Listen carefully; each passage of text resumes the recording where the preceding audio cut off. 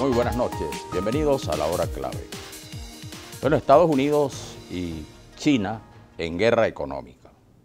Era previsible que la estrategia económica comercial de Donald Trump, que privilegia el proteccionismo y rechaza mayores espacios para la integración mediante tratados y convenios con otros países, entrara en contradicción con la política de expansión que en la misma materia desarrolla la China. Con razón se ha venido especulando sobre la inminencia de una guerra mundial económica y no el riesgo de la temida confrontación nuclear. Pero podría decirse que la guerra comercial entre las dos grandes potencias de la economía mundial ha comenzado. El día 22 de marzo del 2018, el presidente Trump anunció un paquete de medidas para imponer aranceles sobre productos chinos y limitar la capacidad de ese país en la inversión de tecnologías en Estados Unidos. Sanciones que rondarían los 30 mil y 70 mil millones de dólares que podrían aplicarse a más de 100 productos.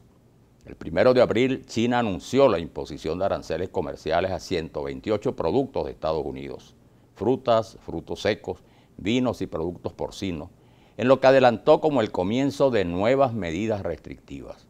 Ello es solo el comienzo de una confrontación que cobrará mayor fuerza en los próximos días.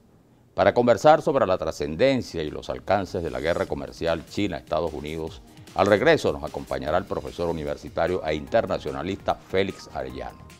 Pero antes los invitamos a seguirnos en las redes sociales como arroba la hora clave piso GB. Ya regresamos.